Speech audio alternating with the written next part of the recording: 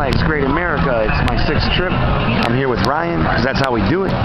We're about to go rock out, ride on an X Flight, go see what's good. It's his first trip to the park this year. It's uh, June 2nd.